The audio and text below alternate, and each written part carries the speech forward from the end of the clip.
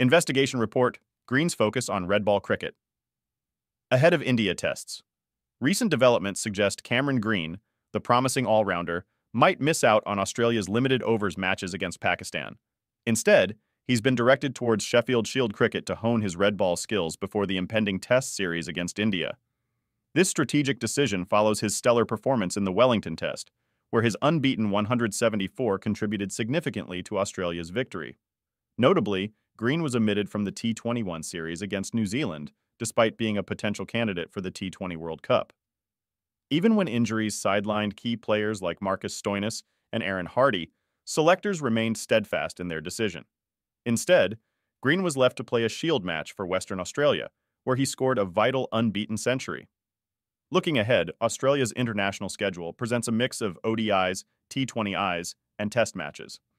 While Green is anticipated to feature prominently in the limited overs formats, coach Andrew McDonald emphasizes prioritizing his red ball preparation for the crucial test series against India. McDonald underlines the significance of this decision, especially considering the upcoming test summer.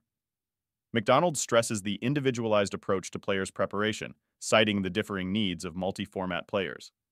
Unlike fast bowlers Cummins, Starks, and Hazlewood, who find adequate preparation in white ball matches, Green's focus leans towards red ball cricket. Green's successful stint at number four in recent matches underscores his potential as a long-term asset for the team. His partnership with Josh Hazlewood showcased his adaptability and batting prowess in challenging situations, a quality deemed essential for the team's success. On the international front, New Zealand's coach Gary Stead expresses concerns about the lack of first-class cricket for his players, highlighting the importance of adequate preparation before test matches.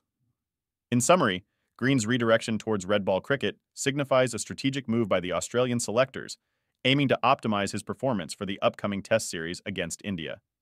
This decision underscores the meticulous planning and individualized approach adopted by the team management to ensure players are primed for success across formats.